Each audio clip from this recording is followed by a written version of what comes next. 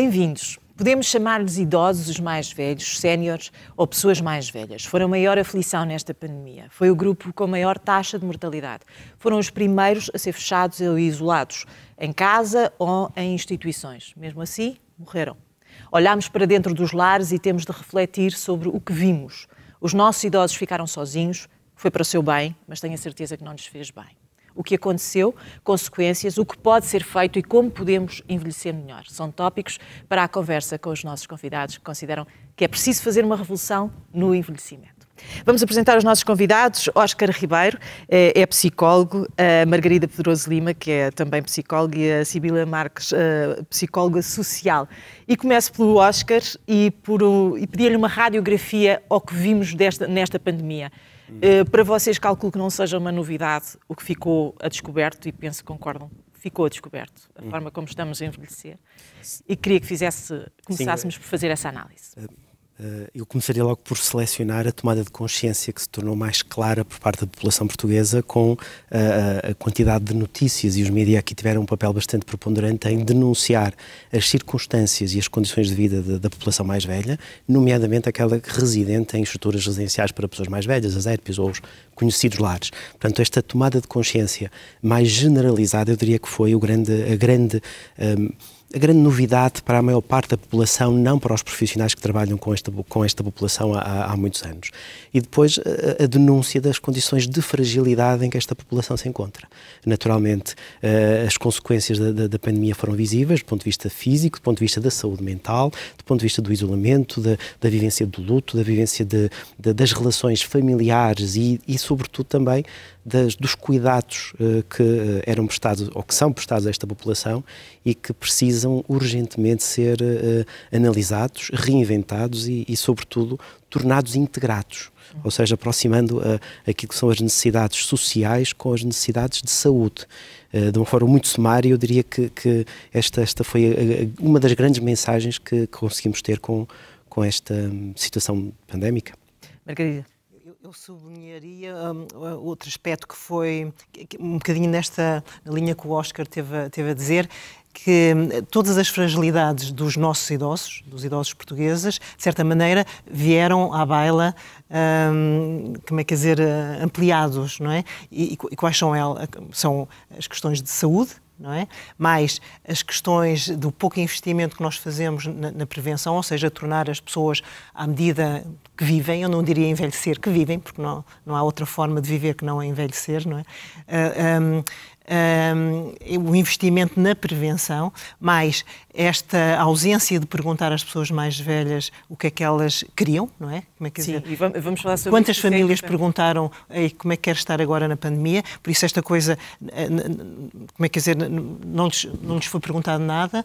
Um, uh, e depois uh, esta, esta leveza com que uh, se colocou as pessoas em determinadas situações, nomeadamente as questões do, eu refiro-me às questões do isolamento, que foi sem dúvida um, a medida, um, enfim, mais radical para a prevenção da pandemia, mas ao mesmo tempo a medida que vai trazer e está a trazer, e, e como é que dizer, muitas consequências nefastas, nomeadamente o isolamento veio trazer um declínio em termos de, de saúde mental, ou seja, a doença mental aumentou, declínio cognitivo aumentou, a depressão aumentou, a ansiedade aumentou, porque a conexão é fundamental, sobretudo para, para nós reagirmos a, a, a, ameaças. Ou seja, quando nós estamos perante uma ameaça, neste caso o vírus, é fundamental a conexão em termos do nosso sistema nervoso.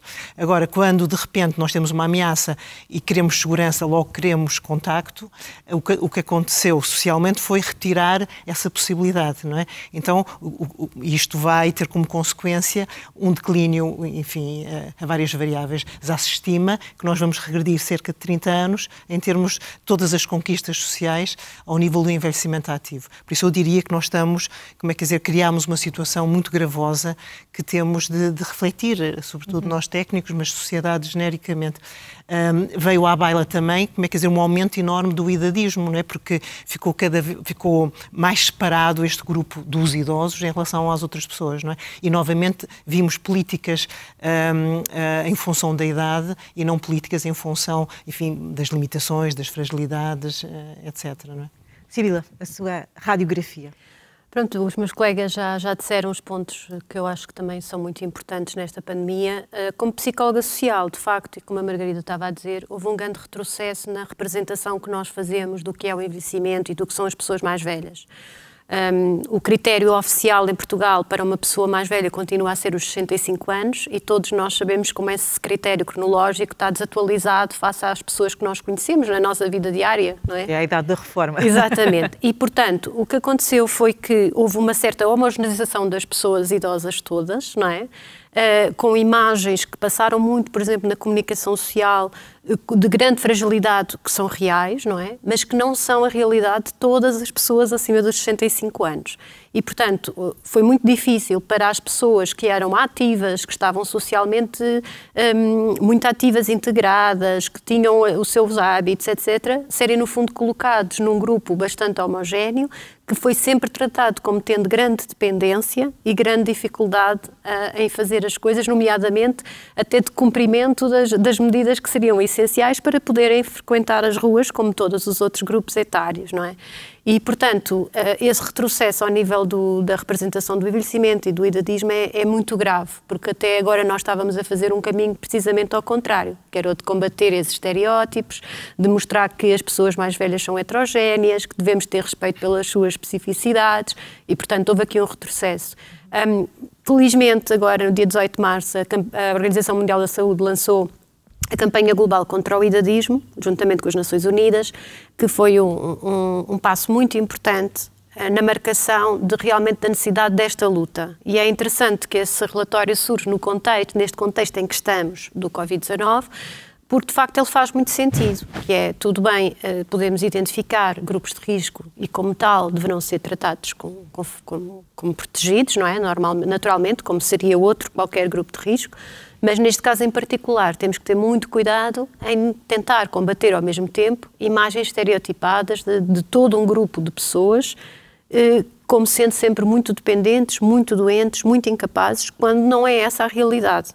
E, nem, portanto, nem, deve ser. Não deve ser e está contra tudo o que nós, enquanto sociedade, queremos, porque a realidade é que nós vamos todos viver até muito mais tarde.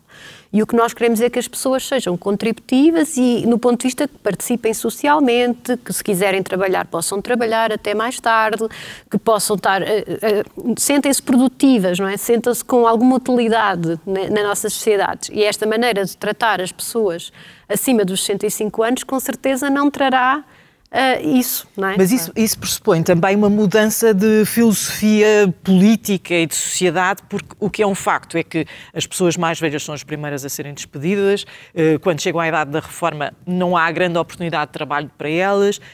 Isso é uma mudança, de facto, a revolução de que falávamos no início, não é? Vai muito para além de isto é o que deve ser feito. Esta revolução já, já está a ser pensada como uma necessidade há bastante tempo, não é? concordamos com isso, Pronto, claro. Porque nós sabemos... Como é que se passa para o... Como é que se passa? Por exemplo, uma coisa interessante, como nós estamos aqui a pensar em agir ou reagir, uh, um facto interessante num estudo que agora vi sobre os efeitos do Covid-19, mede uma coisa que é o crescimento pós-traumático. Portanto, não mede só o stress pós-traumático, que é aqueles sintomas que nós ficamos devido à, situação de stress que passamos, mas também se nós podemos ver esta oportunidade como uma oportunidade de crescer. ok? De vou refazer, vou pensar na vida de maneira diferente, por exemplo, dou mais valor às minhas relações familiares. Há pouco falávamos que surgiram-nos oportunidades de praticar mais exercício, por exemplo, ou de usufruir mais dos espaços livres, ou dos espaços verdes, ou da natureza, que se calhar não fazíamos tanto antes que era bom é que as nossas sociedades também fizessem um crescimento pós-traumático, mas ao nível social. E, portanto, pensassem, não é? O que é que esta pandemia pode trazer de diferente? E é, sobretudo, nestes momentos de mudança que às vezes que se podem introduzir. E não é nesta área da população mais, uh, com mais idade que é preciso fazer uma coisa, alguma coisa rapidamente? Eu, eu, como é que dizer? Eh, eu acho que a perspectiva tem de ser eh, lifespan, ou seja, uhum. coextensiva à duração uh, da vida porque, uh, porque não há estas separações, não é mesmo a idade da reforma, é uma construção social, não é? Uh, e o que nós estamos a ver nas pessoas mais velhas em Portugal, porque formos, se formos para a Dinamarca, por exemplo, é? é? uma realidade completamente diferente. Não existem lares na Dinamarca, por exemplo. É? Uh, Uh, e, mas porquê? Porque estas pessoas idosas na Dinamarca, por exemplo, ou em Portugal, são completamente diferentes. As nossas são mais pobres, são menos escolarizadas, não é? Logo, é muito mais fácil Porque nós não estamos a falar que é do nosso presidente, por exemplo, que é idoso, não é? Ou dos idosos que são diferenciados em Portugal. Estamos a falar das pessoas que. Por isso é uma questão de geração, uma questão de corte e é uma questão de variáveis hum, socioeconómicas. Mas nós... não é de vontade de fazer, Margarida? Não, mas é como é que dizer? Eu, quando, quando eu tiver 90, de certeza que não me vão fazer, fazer, as mesmas política, coisas. Política, hum. não é hum. nossa. Nossa. Não... Um... E da Margarida não tenho dúvida que terá essa energia. mas é todos nós de todos nós. Sim, sem dúvida. De todos nós. A começar, como é que. Eh, mas é, é, basta olhar para os dados, não é? Aliás, os dados, por exemplo, italianos que eu tive a ver, grande parte das pessoas mais velhas que morreram são têm demência, não é? por isso são doentes, não tem a ver com a idade, tem a ver com doença, não é? ou perturbação mental. Não é? Neste momento já se sabe que há uma, há uma relação entre doença mental, hum, hum, deterioração cognitiva, demências, por exemplo, stress, depressão, inflamação generalizada, porque é a inflamação que vai fazer com que o sistema imunitário fique mais fragilizado e a possibilidade de nós uh, adquirirmos o, o, o, vírus. Como é que nós combatamos isto? Com exercício? E, e basicamente, em termos dos mídias, nem em relação às pessoas mais velhas, nem em relação às pessoas mais novas, disseram: ok, pessoal, vão fazer exercício. Não, fecharam as pessoas. Não pode ser assim. Eu estava aqui a dizer que a vontade política ela já está manifesta em, em documentos oficiais. Há pouco falávamos uh, da, da Organização Mundial de Saúde e uma das respostas dadas à, à longevidade, ou esta revolução da longevidade, ou seja, o facto de durarmos cada vez mais anos, sustenta-se na aprendizagem ao longo da vida, Exatamente. seja ela Sim. informal ou informal, numa lógica de, de, ocupação, de envolvimento das pessoas naquilo que são iniciativas da comunidade, o exercício da sua vontade, da sua autonomia, uh, mas dando-lhes oportunidades, ou seja, chegar aos 65 anos e estimar viver mais 20 ou 30 anos implica reorganizarmos ou repensarmos a forma como neste momento olhamos o envelhecimento e a participação, a ocupação destas pessoas e aquilo que nós, enquanto sociedade, podemos dar e beneficiar. Portanto, isto, uh, o modelo de envelhecimento ativo foi revisitado há pouco tempo, precisamente para incorporar esta dimensão de aprendizagem ao longo da vida que é, que é crucial. Aliás, em, em, por exemplo, um, programas de investimento, investimento ativo, por exemplo, na Holanda, não são direcionados para os mais velhos como são cá. Uhum. São direcionados, eu lembro-me, fui uma vez a Groningen, que é considerada zona Sim. azul, por isso são, são zonas em que se considera que há mais qualidade de vida e em que as pessoas mais velhas uh, são felizes e saudáveis. Uh, ok, então o programa não tinha nenhum, nenhuma atividade dirigida às pessoas mais velhas. Tinha educação nas escolas, educação para os universitários em termos de uh, o impacto de fumar, por exemplo, ou caminhadas abertas a todas as pessoas e não há esta separação como é que dizer, estas divisões dentro, dentro da adultez, porque os mais velhos, não é? as pessoas, os idosos, pertencem à idade adulta. Uh, por isso nós estamos a falar de adultos, ok, organiza uma caminhada ou uma conferência para os adultos. Uh, porque verdadeiramente o que é que separa alguém que tem 70 de alguém que tem uh, 50? Verdadeiramente em termos nada, a não ser eventualmente... Exatamente. Ou, como é que dizer, ou verdadeiramente os interesses que eu tenho aos 50 posso ter aos 70. Aliás, eu estava aqui, tinha, tenho aqui um, um estudo da Ellen Langer, fantástico, em que pegaram em pessoas de 75 anos, um grupo grande, e fizeram uma espécie de retiro que durou 10 dias, ou uma, não sei, 15 dias, não sei, pronto, em que fizeram com que estas pessoas estivessem a fazer as coisas e colocaram todo um ambiente como se elas tivessem menos de 20 anos, ou seja, elas tinham 55 anos. Uh, e obviamente avaliaram parâmetros tanto físicos como psicológicos antes e depois. E os parâmetros, estas pessoas ficaram todas com parâmetros equivalentes àqueles que eles tinham quando tinham 55 anos. Novamente, estamos aqui, ok, as expectativas sociais que falavas, não é? Uhum. Um, aquilo que nós pensamos, mesmo os pró próprios idosos que uh, uh, vão integrar, no fundo, os preconceitos sociais, tudo isso vai pautar a forma como eu estou e vivo a minha, uh, enfim, a, a, última fase do meu ciclo de vida, não é? Sibila, esta questão física das pessoas a partir de uma determinada idade, pronto, é assim, acontece, nós não conseguimos fazer tudo, eu não consigo fazer o que fazia aos 20 anos. Sim. Isso faz com que as pessoas também um, pensem a questão envelhecer, isso seja sempre muito presente ou consegue-se separar isso? Pois o que acontece é, normalmente, o que está provado é que, de facto, com, a idade, com o aumento da idade, tende a haver um certo deterioração em algumas capacidades, não é? Uh, o que nós sabemos com a ligação com as expectativas sobre o envelhecimento ou sobre os estereótipos sobre o envelhecimento, o que nós sabemos é que a forma como as pessoas pensam sobre o seu próprio envelhecimento tem uma influência direta na forma como vivem esses aspectos físicos, tem uma consequência. Portanto, alguns estudos, por exemplo, têm mostrado que aquelas pessoas que pensam de forma mais positiva sobre o seu envelhecimento num certo momento na vida, em, em limite, vivem mais sete anos, mesmo vivem mais sete anos do que aquelas pessoas que pensam de forma mais negativa.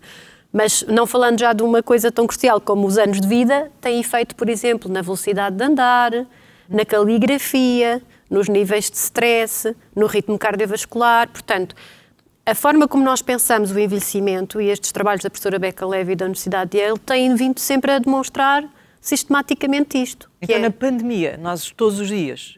A ser bombardeados com uma visão um pouco os mais uh, frágeis. mais frágeis. Isso teve efeitos, como eu estava a dizer, uh, efeitos muito, muito, maus. Então, por isso mesmo, não ver televisão, na minha opinião. Ou ver de forma Obrigada, não ser tão, não ser tão radical. Obrigada por justificar o meu ofício. Não, mas, mas, mas eu, mas eu já, a esse respeito também gostava de dizer, por exemplo, eu, eu acho que a comunicação social, e há pouco nós falámos, até anteriormente tivemos a oportunidade de discutir isto, pode ter eu percebo que a tendência seja a fazer às vezes um pouco mais do mesmo uhum. e a visão do envelhecimento tem sido esta ao longo do tempo mas nós agora temos que mudar. E temos que mudar precisamente começando a dar atenção a, a coisas que não eram feitas antes e que estão a ser feitas agora. E, e, há algumas. Por exemplo, falávamos daquele aspecto das tecnologias que estão a ser desenvolvidas. Uhum. Neste momento, muito avançadas, para permitir, por exemplo, que neste momento, em várias herpes, ou como são conhecidos os lares, aliás, o nome herpe é muito menos estigmatizante do que o nome lar, e isso já é uma conquista, certo. já só com isto já podíamos falar, estamos aqui a fazer pequenas conquistas. É? Uhum. Algumas tecnologias já estão a ser pensadas por empresas para que, de facto, as pessoas nessas herpes ou lares possam estar em contacto com os seus familiares de uma maneira divertida. Portanto, quando vê aqueles anúncios, eu própria tinha vontade de ter aquele aparelho para mim. Para mim. E eu acho que é isso exatamente que se quer. É aparelhos que toda a gente quer ter. Ao Oscar, eh, eh, porque também a, su, a sua população alva é acima Sim. dos 80, não há cá uh, infos excluídos necessariamente só porque se tem mais de 80 ou anda-se aí por volta dos 80? Há, há imigrantes digitais, no fundo, pessoas que acabaram por ter que se familiarizar com, com, com as, com as tecnologias. Mas eu destacaria aqui, antes de ir a esse ponto, a complementaridade aqui àquilo que a Sibila estava a referir. Uh, nós, quando falamos em saúde mental da, da população mais velha, nós convém uh, destacarmos três aspectos cruciais. Um deles é, é a autoaceitação de que se é velho ou de que a idade passa e, portanto, saber que há limitações naturalmente e agir em conformidade com aquilo que o corpo pode ou não dar. Uh, e depois temos a questão da dependência e a forma como ela é ou não gerida, o que nos remete para o terceiro elemento, que é a autonomia a capacidade que eu tenho de gerir as minhas circunstâncias e, inclusive, a minha maior ou menor dependência de terceiros. Portanto, isto para dizer que a, questão da autoaceitação dos tratos de velhice é, é crucial para quando falamos em, em, em, em saúde mental. Uh, nas tecnologias, Uh, aquilo que a pandemia também nos veio, veio reportar, e nomeadamente quando analisamos o, o incremento do uso da, da tecnologia com uh, a situação pandémica, é óbvio que ela está bem documentada e está muito relacionada com a comunicação com familiares uh, e uma. Um, uma familiarização algo forçada, é, é, um facto, porque não havia a proximidade física que pudesse combatar esta necessidade do, do toque, mas, no fundo, o acesso a estes meios de comunicação, uh, ou nomeadamente aos tablets e a, aos telefones e às chamadas Zoom e Skype, etc., portanto, tornou-se muito mais massiva, o que nos dá aqui uma oportunidade, e pegando naquilo que falávamos há pouco de, de, das aprendizagens ao longo da vida, de ser uma, uma boa rampa de lançamento para pensarmos em tecnologias adaptadas para a população mais velha, mas que vão ao encontro das suas necessidades, daquilo que elas efetivamente querem. Este aqui é, é, é um, é um ponto que, que, que, então, é crucial. Podemos passar ao que elas verdadeiramente querem, é. esta questão de termos fechado os idosos, uh, a Margarida já falou disso, nas instituições, em casa, aquela uhum. coisa de temos que os proteger. Tínhamos esse direito? Temos esse direito? Não. Na minha opinião, não. O que é que devíamos ter? É, foi por bem, não é? Foi tá por bem. Mas, mas já, Felizmente, sim. no momento em que estamos a falar, a maior parte das pessoas que estão em, em instituições já levou pelo menos uma dose da vacina, a maior parte das pessoas uh, mais, com mais idade uh, já, já estão uh, quase imunizadas, já estão vacinadas pelo menos com uma dose. começamos sim. a respirar, não é? Teresa, o inferno está cheio de boas intenções. é evidente que nós temos toda uma tradição assistencialista, não é? De fazer por, e, e todos nós sabemos, deveríamos saber, que fazer por faz com que a pessoa comece a perder a autonomia. Por isso, esta coisa de, ah, não, não faças, não podemos é dar algumas ferramentas para fazerem, ou seja, esta coisa de levar sempre a comida à casa, ou seja, há, porque falava-se de envelhecimento, verdadeiramente eh, eu acho que se nós refletirmos sobre a palavra, nós estamos a falar de envelhecimento ou de velhice. Quando a Teresa fala de envelhecimento, o que é que quer dizer?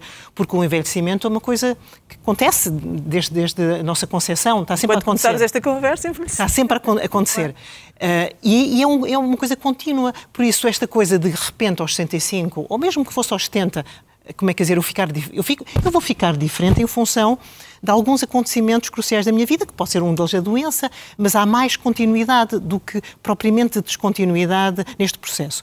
E é evidente que se há pessoas mesmo aos 70, pessoas que até são muito mais fit fisicamente que nós, claro que há. E até mesmo aos 80, atenção, não é? Agora, é evidente que nós temos hum, um corpo, não é? Que, um, que é uma interação com aquilo que nós vamos fazendo ao longo do nosso ciclo de vida e por isso nós encontramos pessoas de, de, idades muito avançadas que estão muito saudáveis. Agora, o que nós temos são populações que comem mal e que fazem pouco exercício e pouco exercício corretamente. E, na minha opinião, devíamos investir mais nesses aspectos. Um, uh, depois, em relação à sua pergunta... Do, do, fechar à força. De fechar à força. É assim, primeiro devemos perguntar como é que, aliás, por exemplo, às pessoas idosas que eu, que eu, tive alguma capacidade de chegar, é dar-lhes o direito de elas decidirem como é que querem viver esse período da pandemia. Ou seja, eu quero ver meu filho, os meus filhos quero comer com eles. Por exemplo, no meu caso, na minha família, todas as pessoas, todos os que têm 80 e 90, uh, continuaram a ver filhos, netos, uh, com, com, máscara, mas continuaram... Com cuidado. Com cuidado. Mas uh, todos eles saíram e foram andar, uhum. mesmo com assistência ou não, dependendo de, da pessoa, mas quem decidiu foram eles, não fomos nós. Uhum. Não é? Por isso, esta coisa, se a pessoa está bem cognitivamente, é um adulto e ela é que decide. Há pessoas que decidem coisas que não são benéficas para a sua saúde. É verdade, nós também, não é? Por exemplo, os seus saltos não são benéficos para a saúde. Por exemplo, não é? Mas nós podemos, somos adultos e temos esta liberdade. Porquê é que nós retiramos essa liberdade aos mais velhos? É um desrespeito e é um crime. Sim. Uhum. Sibila, deixe-me perguntar-lhe o mesmo. Acha que é uma, uma forma de discriminação? Quando nós usamos a idade como um critério para a decisão, temos logo um problema, não é? Porque é uma grande heterogeneidade nas pessoas em que nós vamos, que nós vamos no fundo atingir e, portanto, vamos ter pessoas que de facto estão perfeitamente capazes de sair com as suas devidas precauções e outras pessoas que se calhar não estarão tão capazes. Uh, eu sou da opinião da Margarida que, de facto, critério, os critérios de, de escolha para, para, para, a proteção seriam melhor ser, por exemplo, um conjunto de comorbilidades do que propriamente a idade por si como indicador. Uh, também percebo que a tradição tem sido a da idade uh, e, portanto, é muito, talvez, mais fácil dizer as pessoas a partir dos 70 anos ficam, são todas um grupo de risco e que têm que ter precauções adicionais. Porque as instituições também têm um dever de proteção do grupo, não é? Não, mas a proteção é... Mas como é que dizer? É assim, uh, ficar fechado, sem movimento e sem interação redu... aumenta a inflamação em termos do sistema nervoso, logo abre a pessoa a ficar com a infecção. Exatamente. Por isso isto é um círculo vicioso. Na minha opinião, ok, proteger, proteger QB. Imagine-se, se eu tiver 96 anos e me disserem agora vai ficar um ano fechado em casa e não vê ninguém, esta pessoa disse, mas eu estou quase a morrer, eu quero. Eu, eu, eu, preciso estar com as tem pessoas. Tem esse direito. Tem esse direito. Oscar. Eh, sim, eu, eu comungo aqui um pouco das, das ideias que já foram explanadas. Uh, é óbvio quando nós pensamos em circunstâncias específicas, como aquilo como são as herpes e, e, e estas iniciativas que foram promovidas dentro destas instituições, ao fazê-lo, temos que garantir as condições em que o fazemos. E, portanto, não é confinando as pessoas ao quarto uh, e, e, estando um ano fechadas, em que a noção de tempo para quem tem 80 ou 90 anos, que é, no fundo, a grande maioria de, de, da população que está é, nestes contextos, o tempo tem um. Muito valioso. Um, valor extraordinário, um, um, ano na minha é vida. É maior a, a, a, sensação de que o tempo está, está a acabar é mais do valioso. que medo? Afinit... Como é, como é que é o, o medo de morrer, que é real, não é? Não, é, é, o medo de morrer não existe mais nas pessoas mais velhas, existe mais nas pessoas de meia idade. Exato. Uhum. Exato. Porque as pessoas mais velhas, sobretudo as que estão bem, eh, aceitam. Aliás, há muitas pessoas idosas, e Sim, sim, sim, sim. casos desses, que são pessoas que estão, estou pronto, Exato. estou feliz, tive pronto, uma vida, cumpri sim. o ciclo e estou feliz com isso. cumpri o ciclo, estou pronto, portanto, eh, naturalmente, esse, esse- o medo da morte, eu não sei se se, se sobrepõe àquilo que é o, o, o medo de perder ano- tempo de vida. Exatamente. E isto E é Então foi verbalizado. uma enorme frustração este, este ano. Horrível, horrível. É, é, portanto, quando nós falamos em, quando nós falamos em saúde mental eh, e dos- das consequências da saúde mental que são transversais a qualquer faixa etária, quando pensamos na população mais velha, isto é particularmente grave. Sobretudo quando nós sabemos de antemão que os cuidados que lhes são prestados em termos de saúde mental também não são os melhores. Porque eh, não podemos circunscrever os problemas da saúde mental à população mais velha às condições das demências ou às, ou às perturbações neurocognitivas. Ou seja, o espectro de características de, de- de- e da riqueza do funcionamento psicológico dos mais velhos não circunscreve às condições de Mas demência. está estimada um terço, um terço das pessoas, da população genericamente, ahm, sofreu e vai ter alguma perturbação da, da ordem ah, mental. A- a Sibila- Outra, sim, Isso outra é- coisa também em termos de- da forma como foi feita a comunicação, não é? Porque normalmente quando muitas das campanhas passaram por o apelo ao medo, não é? Que era a ideia de ver, por exemplo, as pessoas já numa situação de cama de hospital, etc. Hum, nós sabemos que esse tipo de, de mensagens tem efeito na adesão aos comportamentos de proteção, mas ao mesmo tempo é preciso também dar medi- algumas medidas de autoeficácia. Quer dizer o quê? Mostrar o que é que se deve fazer para evitar ficar naquela situação. E, por exemplo, a mim, eu, eu acho que haveria de ter havido mais campanhas onde se via, por exemplo, pessoas mais velhas a andar na rua devidamente protegidas, que servissem, no fundo, como modelo, que era aquilo que nós queríamos que as pessoas fizessem. Portanto, a intenção não seria se calhar inicial de colocar as pessoas completamente fechadas em casa sem fazer nada, mas se calhar chamar a atenção que poderiam ser um grupo mais vulnerável, não é? Face à situação do, do vírus. Ser mais vulnerável implica poderia ter mais cautelas, não é? Eu, eu, eu, Mas- eu vou, vou servir de, de advogado do diabo aqui porque nós entramos numa guerra para a qual não estávamos preparados. Completamente. Agora, a questão é, nós olhámos para a guerra, vimos o que é que aconteceu, o que é que aconteceu neste grupo e o que é que nós podemos fazer a partir de agora, não é? Mas- mas- mas, Temos que mudar aqui os paradigmas, Teresa, O não- problema é, na minha opinião, um problema socioeconómico, porque é assim, os idosos mais ricos, que têm casas, quintais, quintas, tiveram muito bem, mesmo não saindo de Ou casa. então foram para a neve em Itália. Exatamente. Não, é verdade. Enquanto que o, Eu acho que até foi bastante. as pessoas idosas que eu, que eu, que, que eu tive ao telefone durante a pandemia, semanalmente, são pessoas que algumas delas viviam em casas pequenininhas T1s. E para obedecer, porque o, o- o governo disse que não se podia sair de casa, nem ao lixo iam. E a, e a comida era levada lá à casa. Estas pessoas, como é que dizer, aumentaram no- em termos de diabetes, como é que dizer, em termos de Ainda vem ansiedade. aí as consequências. Ainda vêm as consequências. E e isto, na minha opinião, é lamentável, porque não se teve em consideração que estas pessoas que obedecem, porque são de uma geração que, só, que obedece, não é? Eh, foram efetivamente abandonadas e como é que dizer, e com elas, a não ser, eh, eu estou a falar destes telefonemas que são, mas, mas foram, foram associações, como é que dizer, eh, de, voluntários que se organizaram eh, para ajudar, que são pessoas que foram completamente abandonadas. Uh, Oscar, va- vamos falar da, da questão da, da saúde mental e dos cuidados de saúde mental. Uh, os idosos têm, nas instituições, têm isso à sua disposição. Uh, obviamente há lares, vou chamar-nos de lares, hum, instituições, melhores, piores, pessoas com mais dinheiro, com menos dinheiro, com mais uh, uh, conhecimentos e, portanto, sabem quando chamar um, um profissional para os ajudar, famílias mais atentas. Mas uh, as pessoas de idade têm este auxílio. É que eu vejo as imagens que nós temos nos lares e vou reportar às coisas que nós fomos vendo. É que há uma certa infantilização no trato. Eu, eu destacaria aqui do- dois. São várias duas- questões Sim, são várias só. questões numa só. Exato. Sim. A chamada Eh, pergunta é Eu diria que a maior parte das instituições, concretamente em, em relação à situação da, da pandemia, fizeram um trabalho absolutamente hercúleo e que deve ser eh, também reconhecido. Sem dúvida. E, portanto, eh, é óbvio que hou- houve aqui uma prioridade de salvaguardar eh, a propagação e a vida, portanto, negligenciando-se um pouco aquilo que seriam as respostas de saúde mental. Foi um preço, um preço bastante elevado, sobretudo para uma população já ela muito envelhecida, que é a característica desta, desta população. Nem todas as instituições têm efetivamente respostas da saúde mental, ou respostas pensando em psiquiatria, pensando em psicologia. Mas têm de ter? Não. Não têm de ter, se deveriam ter, deveriam ter. Deveriam ter. Deveriam Mas ter. deviam. Deviam. Deveriam Claro, claro. Mas não têm fundos, não é? Sim, não, não, não têm. E, e como é que dizer, muitas vezes não têm recursos para hum, formação do pessoal, eh, por isso, como é que dizer, efetivamente há imensa coisa a fazer, sem dúvida. Ah, Oscar, do- Sim, sim, sobre- sim.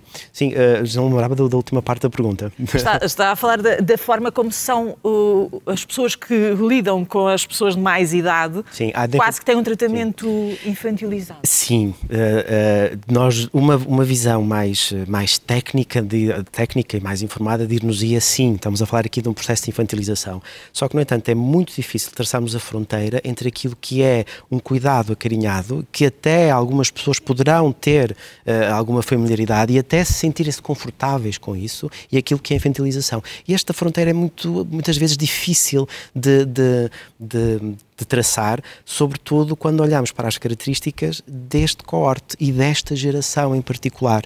Uh, portanto, sim, a infantilização está presente, sim, deve ser uh, uh, combatida, mas também devemos ser suficientemente flexíveis para perceber que algum, que algum diminutivo poderá ser uma forma carinhosa de tratar e poderá ser até, uh, eventualmente, apreciada de forma positiva pela pessoa mais velha. Portanto, eu, eu não diria infantilidade, estes, estas verbalizações como sendo necessariamente de infantilização, embora à partida sê-lo-ão. Eu, eu, para mim, já agora, também gostava de, de dizer que esta pandemia escondeu uma, um grupo, não é? Entendeu?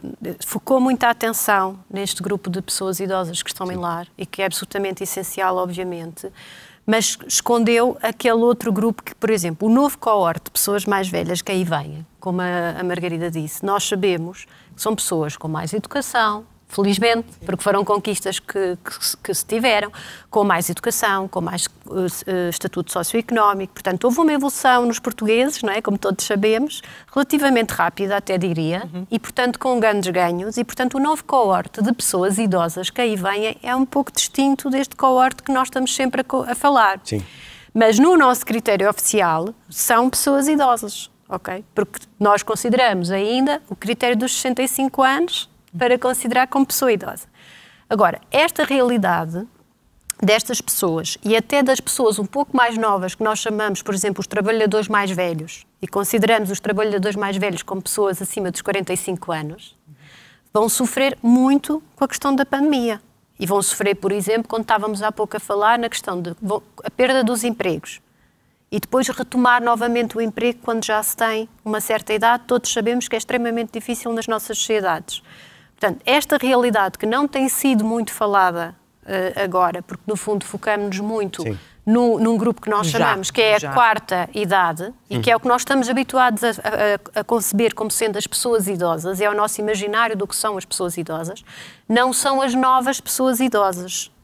E, portanto, nós vamos ter que repensar a nossa sociedade também para estas novas pessoas idosas, ok? E eu fiquei muito contente de verificar que na comunicação social, quando fiz, fiz uma análise das notícias que apareceram durante a pandemia relativamente à imagem das pessoas idosas naquele período do ano passado, de março a maio. 300 e poucas notícias dos quatro principais jornais. As principais, pronto, a maioria das notícias eram notícias de facto eh, negativas, muito ligada com a questão dos, dos maus tratos em lares, a incapacidade das pessoas idosas. Portanto, isso foi o assunto de facto mais debatido, mas surgiu algumas notícias que nunca tinham existido e alguns artigos de opinião de pessoas mais velhas na casa dos 70, por exemplo, que vinham de facto reivindicar o seu lugar na sociedade e, e falar de que eram discriminados e que isto não podia ser, e, e- e isto foi uma novidade. Discriminação? Por exemplo, o que a Margarida falava, que tinham o direito à escolha, que queriam decidir autonomamente o que é que queriam fazer, focavam as questões de como é que nós vamos ah, abordar estas questões mais gerais, como, por exemplo, o emprego das pessoas mais velhas, como é que nós vamos assegurar, por exemplo, que as famílias têm as possibilidades para, para ajudar ah, as pessoas mais velhas, porque, por exemplo, tendemos muito a ter um, um- um modelo que assenta muito no apoio que a família pode dar, aliás, na pandemia também, é, é sempre o que é que a família pode fazer e, e, é ótimo o modelo familiar no sentido do, do afeto. A nossa tradição. É? E, e, é bom no sentido do afeto. Sim, Mas as famílias precisam de apoio. Sim. Não podem estar também elas em casa com crianças a tomar conta. trabalhar até aos 65 anos. Exatamente. Mas, na minha opinião, a existência destas diferentes gerações que têm padrões de comportamento diferentes vai ajudar a que, a que se venha a perceber que não existem características específicas da idade mas, mas, existem características específicas de uma determinada geração. É? Uhum. Um, e isto, eventualmente, vai ajudar a libertar esta sociedade, enfim, destas, deste pendor idadista, nomeadamente sem sentido, porque é um privilégio, como é que dizer, nós podemos... Uma conquista. nós, nós podemos viver, viver mais tempo. E, e em relação a esta, esta geração que agora, vão, os futuros uh, idosos, uh, vai obrigar a mudar as coisas, as coisas como nós as vimos nesta pandemia? Claro, claro que sim. Claro. O facto só, só de sermos mais escolarizados e podermos dizer gosto disto ou não gosto daquilo, obviamente que... E mais afirmativos, nós somos... Sim, sim. Uh... sim, sim, eu não quero estar assim, não quero estar assado e gosto. Eu lembro-me quando comecei a trabalhar nesta área, há 30 anos atrás, que eram só pessoas, como é que dizer, eu lembro-me de chegar às instituições e perguntar o que é que vocês gostariam de fazer ou o que é que era importante. Ah, não, a Soutora é que sabe, não é? E, um, porque nunca ninguém lhes tinha perguntado o que é que queriam, não é? Agora, e as coisas, obviamente, estão a mudar, eh, felizmente, não é? Por isso a nossa concepção, inclusivamente de pessoa idosa, vai necessariamente transformar-se. Eu só gostava de dizer uma coisa aqui nesta, que é um, uma sociedade, um, para ser justa e respeitadora, da diversidade interpessoal das pessoas de diferentes idades, tem de, tem de, tem de hum, fornecer variedade de opções em termos de como é que eu quero, no fundo, um, estar quando eu for mais velho. Não existe isso. E, em Portugal não muito, noutros países já há mais. Ou seja, o que é que possa existir lares, porque há pessoas que adoram ir para lares, atenção. Esta imagem negativa dos lares tem vindo a melhorar. Obviamente que. Uh, mas há pessoas que querem, não é? Eu, eu, eu como pertenço a algumas associações que lutam pelos direitos das pessoas mais velhas, etc. Nós, de vez em quando, temos telefonemas. Eu quero ir para um lar, mas não me deixam, porque os meus filhos dizem que não, não fica bem lá na aldeia. Uh, se eu disser que quero ir para um lar. Por isso há, como é que dizer, uma panóplia diversa de formas de querer estar. Mas há residências, há vilas, há estar em casa, há. Como é que dizer? Housing. Como é que dizer? Co-housing. Co-housing, viver com os amigos. Há, há tanta forma. E esse é o caminho? Na minha opinião, a, a variedade, sim. O caminho da diversidade será sempre o caminho. E da criatividade. e da criatividade. Ou seja, as opções que podem estar disponíveis para eu envelhecer como eu Estamos quero. no turning point. Esta pandemia pode servir... Depende de nós, uh, depende, destas gerações. Depende desta geração. E, depende, e, e quando e pegando naquilo que falámos no início, a tomada de consciência do que é envelhecer, uh, seja na, nos novos velhos ou nos velhos mais velhos, portanto é um bom ponto de partida de começarmos a refletir proativamente sobre aquilo que nós queremos eventualmente para nós. Uhum. uhum. E isto ouvimos no, no, no discurso comum, eu, eu, o que, pelo que eu tenho visto, eu não quero aquilo não para quero mim. Aquilo. E isto tem vindo a ser Sim. particularmente Sim. recorrente, que seja um mote para que as pessoas agarrem a oportunidade de repensar Sim. com diversidade. Há aqui uma coisa que, que eu acho que não, não gostava de terminar este programa sem, sem dizer, que é, os estudos mostram que uh, o grupo etário que esteve melhor na pandemia sim. foram os idosos. Sim, sim. sim. E há, temos estudos de, de, de Aliás, 2020 da Casta sim, que, que mostram que. Porquê? Porque hum, uh, sabemos que as pessoas mais velhas são mais. Uh, gerem melhor as emoções e são mais resilientes emociona emocionalmente. Mesmo com estas covariantes, ou seja, elas foram aquelas uh, com mais possibilidade de morte, com mais possibilidade da infecção, que foram as mais faladas como sendo as mais frágeis, e mesmo assim, os estudos que estão a sair agora mostram que foram aquelas que resistiram mais.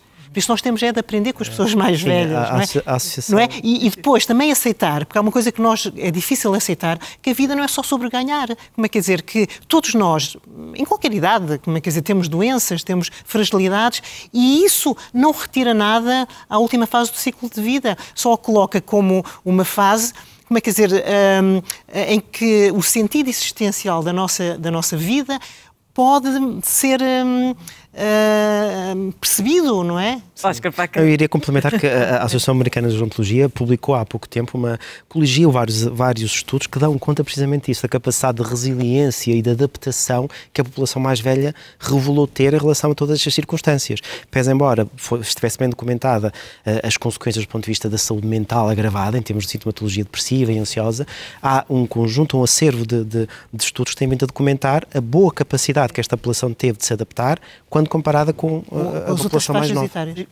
Pois é, é, para terminar, acho que era importante dizer que o que nós queremos é uma sociedade para todas as idades. Certo. E, na verdade, um dos grupos, o idadismo, por exemplo, não é só em relação às pessoas mais velhas. Nós também somos idadistas quando pensamos isto. Existe um forte idadismo contra os mais jovens, que também não vêem grandes oportunidades de vida. E quando a Margarida dizia que o envelhecimento é ao longo da vida, claro que é ao longo da vida. E quando nós privamos os jovens em determinada faixa etária de terem uma vida, uma oportunidade de uma vida digna, estamos a afetar todo o seu curso de vida até o envelhecimento. E, portanto, aí o que se procura, por exemplo, os laços intergeracionais são muito importantes. São muito importantes não só para as pessoas mais velhas, mas também para as pessoas mais jovens, que também podem aprender com as pessoas mais velhas e que têm esse desejo.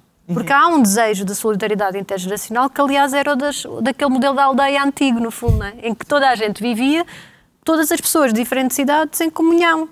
E, e, todos, portanto... e, todos, aprendiam. Sim, e, e há, e há o, o, que também não, não, não foi falado, que é a carência de toque e de abraço sim, sim, sim, e mesmo de sexualidade, não é? E nós vemos muitas pessoas mais velhas, de, eu tenho relatos até em clínica, de pessoas de 70 anos, de 80 anos, que se viram privadas durante um ano de toque e mesmo de, de, de sexualidade. E, e, o sexo, nomeadamente, também é uma necessidade e, e a necessidade de, de, contacto é fundamental em termos de saúde mental. Oscar, foi um grande embate esta questão de, de não nos tocarmos. Sim, eu, eu, eu, aqui a Margarida estava a falar de uma dimensão, eu estava a recordar de uma outra que tem a ver com, com a vivência do luto e que há pouco falávamos. Ah, Falou-se muito. Sim, porque não foram, nós não falámos aqui de uma coisa muito importante, até a espiritualidade foi. Sim, sim. sim é foi, foi fechada sobretudo em circunstâncias pós pós-perda de cônjuge. Uh, houve um foco até uh, relativamente grande naquilo que era que foi a ausência de, de, de despedida dos rituais fúnebres, uh, sendo que uma outra tónica, igualmente, se não mais importante, foi a vivência do luto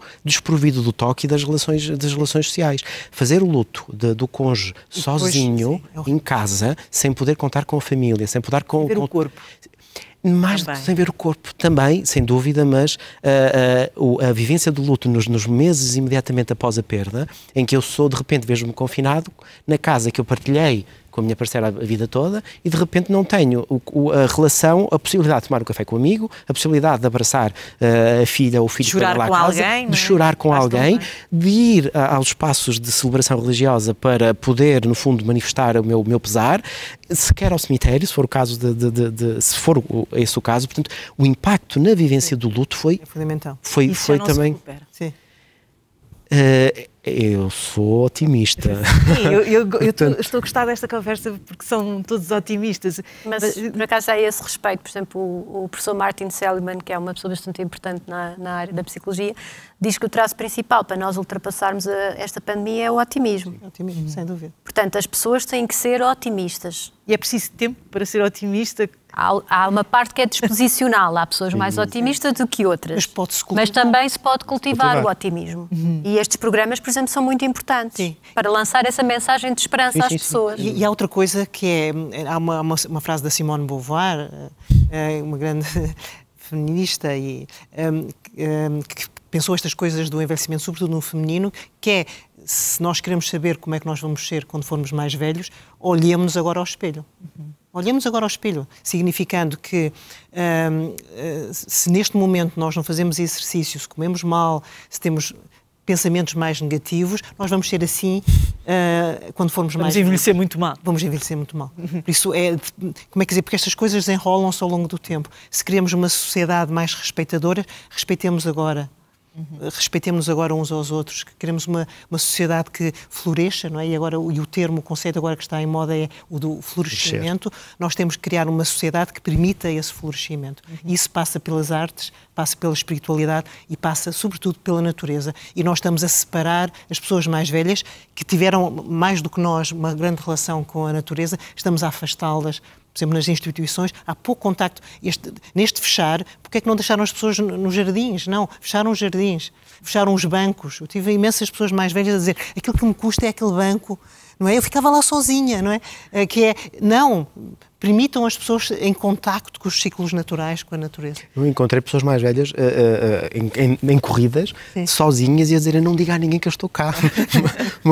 Tal era a necessidade, efetivamente, de estarem em contacto com, com a natureza. De qualquer maneira, saiu daqui, acho eu, uma conversa muito positiva, uma conversa de futuro otimista. Foi um prazer falar com vocês. Estou muito mais satisfeita com o meu próprio envelhecimento. e marcamos encontro amanhã, à mesma hora, às nove. Vamos falar de saúde mental, dos profissionais de saúde. Até lá!